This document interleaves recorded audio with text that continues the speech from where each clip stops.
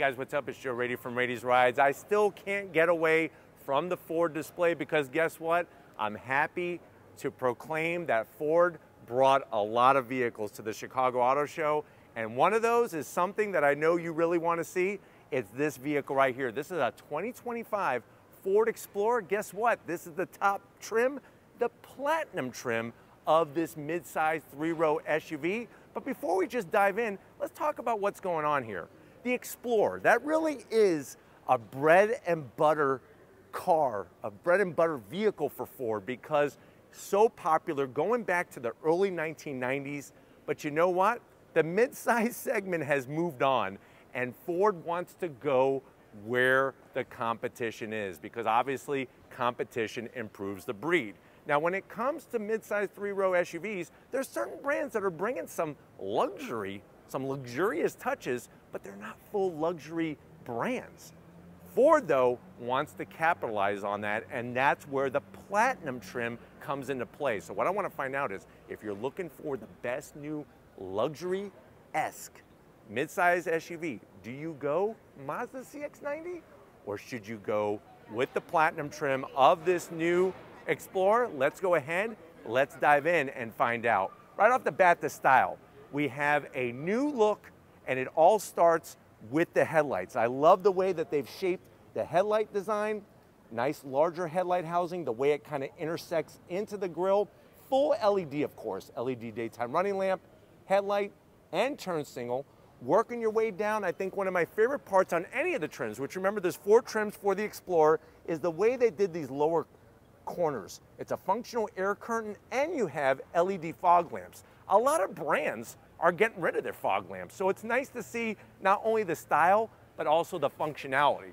Now, as we come across the front grille, like I said, this is the top trim, and an easy way to tell that is because of all of this aluminum style finish. So we have an all new grille, and look at the way that they work the aluminum finish into each of the intricate parts of the grille. Of course, we have a forward facing camera, that blue oval badge, and then working our way down, I'm very happy to say that they went flat color on the lower portion. This is smart because this will take a better beating over time since it's lower to the road, full functionality, and I like the way they did a little bit of silver across the bottom.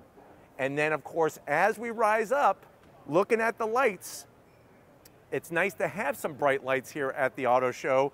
You'll notice that the hood still has that nice prominent display to the hood, Underneath the hood, you have that three liter EcoBoost twin turbo V6, 400 horsepower. This is rear wheel drive based. And of course, you could get all wheel drive.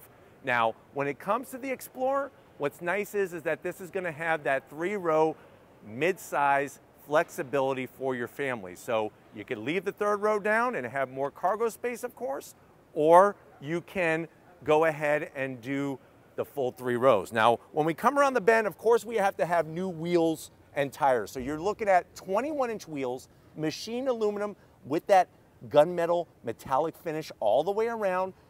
What's great is 275 on the width, all four corners. And I really like the nice clean split spoke design, especially on this platinum trim. And it's nice to see a 21 inch wheel because you look at the competition like the CX-90, they're bringing 21 inch wheels. The one thing I would want to see change is I would like to see this painted.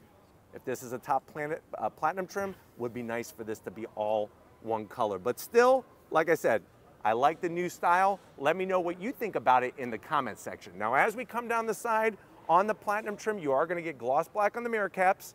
And they still, I'm glad they did not get rid of the blacked out A-pillar. From the side, you're still gonna get the same dimensions. So it's one of those things that Ford felt it wasn't broken, so you don't fix it. A little bit of aluminum trim. I like the way they bring that on the Platinum. Really shows that cohesive design with the Explorer name stamped in. You do have color matched on the door handles. And then look at what they did with the raised roof rail. You actually have an aluminum style finish rather than just a flat black. And that, like I said, ties everything in to this being a platinum trim. Now working towards our rear, it's one of my favorite rear ends, I think, on a mid-sized three-row SUV. I really love the way that they did the lighting, especially on the intersecting trim here. Of course, we have our four-wheel drive, like I said, it's rear-wheel drive base, but with power being sent to the front wheels, just like the Mazda CX-90. And then you'll notice that nice long roof spoiler. And then this is the only thing that I'm gonna have to zonk. That's gotta, that's gotta go. But working our way down, platinum trim, nice aluminum finish on your badging. You have that protector across the rear bumper because you know when your kids drag their junk out, they're gonna hit the bumper. This is gonna protect it. You have your full towing capability and this is standard. And then you'll notice our quad tip exhaust with that slash cut. Gives it a nice sporty look, but still classy considering that this is the platinum trim. But guess what? This is just a part of the puzzle.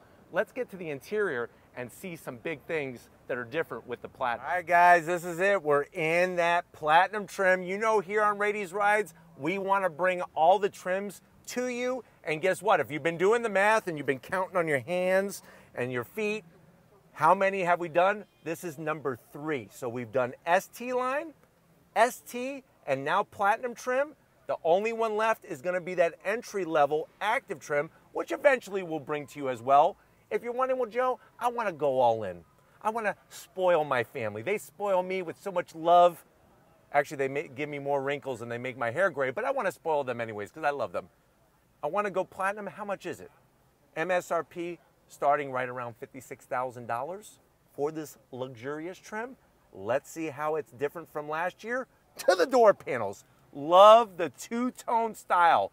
It makes the door panel just come alive, soft touch material up top, and then that off-white, very elegant but very modern. Look at the uh, trim around the door handle and those unlock and lock controls. No gloss black. I'm really digging that finish. Unique to the Platinum, we got the B&O sound system with the aluminum speaker grill cover. And look at the way they did the stitching and design in the middle of the door panel. Nicely done. Now, as you work your way down, you have enough room that guess what? Even though we're in Chicago, you could put five slices of New York style pizza. That we know is the best pizza in all the land, and a bottle of root beer to wash it down. Now, going from the door panel to the dash, same as always, we got that new speaker that comes across the center to give you that ultimate in eargasm when you're listening to your music. We have the Explorer name nicely presented, and I love this finish. It's like a wood, but it's not real wood, and I'm okay with that. The stitching, the soft touch. Even on the side, you have a little bit of a pocket here for a Costco churro, and there's an Easter egg in there. So they show a bunch of different eh, model Explorers in there. But if you're gonna get a churro from Costco, you better get it done quickly because they're getting rid of it. No more Costco churros. WTF. Come on in. Standard across all trims is going to be this over 13 inch infotainment system. As you can tell from the fingerprints, it is full touchscreen capable. That is something that the Mazda CX-90, unless you're using Apple CarPlay, it's not a touchscreen. If you use Apple CarPlay, then it is a touchscreen. This one, full touchscreen no matter what you're using. And of course, you have wireless Apple CarPlay, wireless Android Auto, all the different apps. There's more apps than the Apple App Store including games. That's where I want to be with this setup because you could play games right off the screen, even without a controller. Course, you're going to have three stages of heated seats, ventilated seats, and a heated steering wheel. Real knobs for the volume, so you could fine tune it to precision. And then we have a little bit of switch gear, wireless charging, a place to put your Tootsie Rolls when you get that little urge where you want to have a snack. And look at all the great stitching and material, how it extends out. Think about this. Look at me. I want a Tootsie Roll. All right, now I'm just like, I want a Tootsie Roll, boom, it's right there. I want my phone, boom, it's right there. You don't have to go digging for it like in some other vehicles. There is a bit of gloss black here, but I think the good news is most people will do this.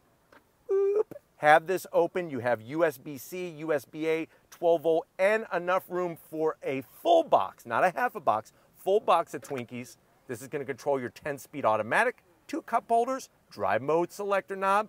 That Twinkie is for just for you. So after the kids eat all the Twinkies, you have one just for you, especially after that stressful day when they're stressing you out. Stitching, soft touch, open it up. You could easily put, I would say, seven, no, scratch that, eight pouches of Big League Chew.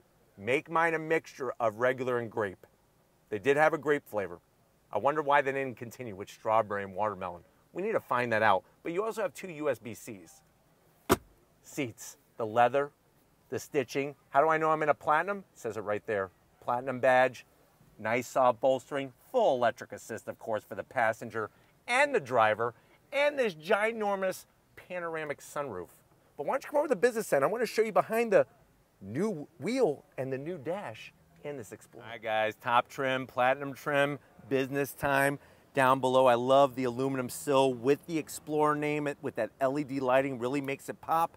You got that easy to get to seat controls. And I'm telling you, these seats feel phenomenal and they look phenomenal. I'm six feet tall, obviously plenty of room in here. Steering wheel, love the way they have the leather. The only thing I wish they would have added is contrast stitching around here. I think that would have been a nice touch, but you have a silver Ford oval, not the traditional blue. You do have flat black on the switchgear with a little bit of silver trim, power, tilting, and telescoping steering wheel. And then this does have the upgraded Blue Cruise. So if you ever wondered what this is right here, this is part of the Blue Cruise system, and this is getting smaller. If you look at older Ford models, it's actually bigger. So we have a smaller setup, but we don't have a small digital gauge cluster. We have a nice super in large and in charge setup, and then you could scroll through a cornucopia of information in that center display. The one thing that's missing for me is a head-up display, no HUD.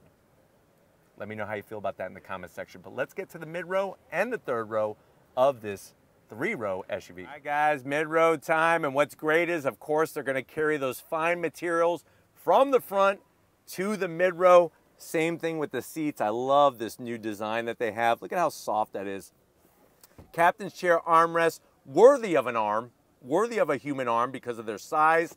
Backs of the seats, same material. I like the way they cut out this notch to give you a little bit extra room. You do have, of course, your rear pocket for an abacus.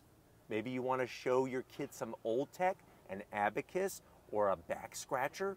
Not one of those ones you get that's power battery where you just go like this and it scratches, where you have to actually go like this to scratch your back. That's those that's how we used to do it in the good old days when we used to have to walk in the snow uphill both ways when going to school. Back of the command center, you do have your AC controls, which are nice. Two stages of heated seats, but no ventilated seats. That's a zonk to me. USB-Cs and a home power source. And we have two cup holders. Seats are great. I'm six feet tall. If I want to chill, I got a little bit of recline. They do slide as well, which is wonderful. And then on the Platinum trim, instead of a manual pull handle, you just push. Electric and that's going to bring you into the third row. Now the problem is it doesn't have the same nice seat material like the mid row and the front row. So your third row passengers are going to feel a little bit like peasants, but we do have two USB-Cs all the way over there, which are nice. And then of course, those will fold down and you can maximize your cargo space. How do you do that? Let me show you in this platinum trim of the Explorer. All right guys, cargo area time, real simple. You just hit the button, nice electric assist, gonna give you over 18 cubic feet of space. And what's wonderful is to put the seats down, watch this. Wah-bah, wah-bah. And then you're gonna come over here and you're just gonna tap this button. Just give it a tap, a little tappy tap. I miss you, Chubs. Tap, just a tappy tap. Name that movie, and I'll send you a Twinkie. But the third row folds down, that's gonna give us over 47 cubic feet of space. And what's nice is, is that if you wanna get creative with your storage, you actually can move these. So you could put maybe two boxes of Twinkies standing up so they don't slide around. You also have tons of storage underneath for all the gear that you ever wanna carry for your kids. Maybe that's where you put the snacks for the trip so when they're complaining and they're crying, just put a Twinkie right in their mouth. That'll shut them up and then you just hit that and it just drops down. But let me know what you think. This is the top trim for 2025 Ford Explorer. Are you liking what this platinum trim is bringing, especially with the cornucopia of standard features like the infotainment system, like the power liftgate, all the towing and everything. Let me know how you feel about this, but we definitely got to thank the whole Ford crew giving us access, special time at the Chicago Auto Show to cover this But if you're new to the channel and you're on your way out, hit that subscribe button. I promise you it's worthwhile. Come back for more. If you are a subscriber, thank you for being part of the Raiti's Rides family. Of course, we need to give it up LG Raiti. She makes the magic happen every time that camera turns on. Thank you, Lori, for busting your butt. And just like always, guys, I'll see you on the next ride.